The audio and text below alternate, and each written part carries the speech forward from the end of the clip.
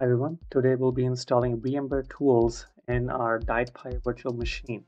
Let's get started by going to the tools section and clicking install VMware tools. In other distributions like Ubuntu, this will auto mount a CD drive which has installation files. However, in DietPi, we need to mount the CD drive using the drive manager. Here you can see, we can already see a path containing uh, the installation files and so we'll mount it. We won't change the name at this time because we'll be using it for installation only. Once that's mounted, as you can see, it shows up in the mount folder. These are the files that'll be used for installation. We'll be using the tar file. Once the terminal is open, we will type cd slash temp to go into the temporary directory.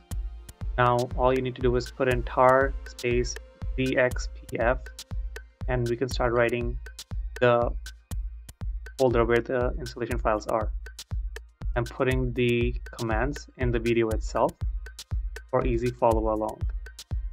Now once we have the files ready for installation, we will go ahead and use the defaults.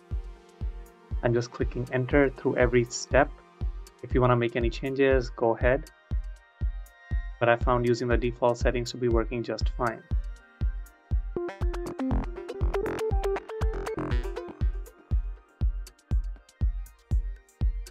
Now what we'll see once this is completing with the installation is that our view should expand fill the whole screen.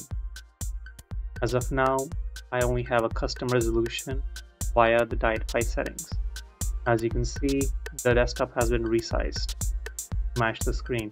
Now this will auto resize every time uh, uh, resizing the main VMware window. That's all. Now our next step is to unmount the CD-ROM, you'll go back to the drive manager and click unmount. And that's all. There you have it. Now we have successfully installed VMware tools. A shutdown and a reboot. thank you guys for watching. I'll see you in the next one.